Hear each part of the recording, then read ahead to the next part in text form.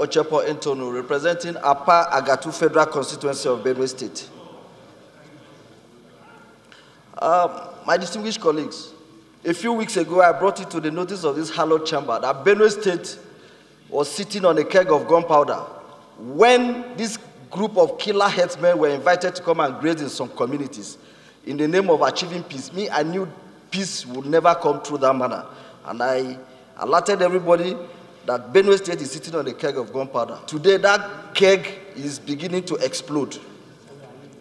The lackadaisical attitude of the federal government towards this, this perennial problem in Benue State is what is responsible, is what is primarily responsible for the persistence of this problem in Benue State today. In 2014, United Nations branded this group of killer headsmen as the fourth most dangerous terrorist group in the world, ranking next to Al Qaeda and uh, ISIS. Today, federal government has consistently refused to brand this particular group of headsmen as terrorists. And so, because they have not been branded as terrorists, they cannot give them the kind of treatment terrorists are being given. If today, federal government brands this particular group of terrorists, whether they are Idoma uh, terrorists or from Tiv or they are Igbo terrorists, no matter their, their race, they should brand them as terrorists as just the way nation, uh, the United Nations has branded them, and then begin to treat them like terrorists, just the way they are treating Boko Haram today. Just last year, this particular group of people massacred over 500 people in Agatu. Several motions have been raised on this floor since that time, urging federal government to immediately embark on a disarmament program.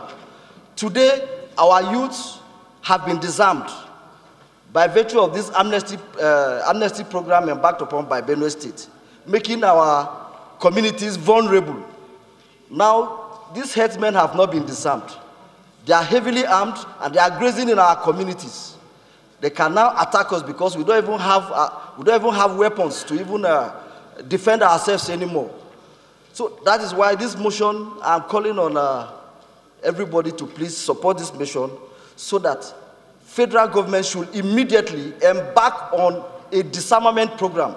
They should go and instruct the security agencies to go into the bushes, arrest these people, retrieve these arms from them, and if possible, prosecute them. Since these people have been killing people in Benue State, no killer headsman has been arrested. It is very, very annoying. Nobody, none of these killer headsmen has ever been arrested or prosecuted. And that is what is encouraging them to continue in this killing spree. So, we are. I want Th th thank you very much. Uh, you have made your point. Uh, Honorable Dr.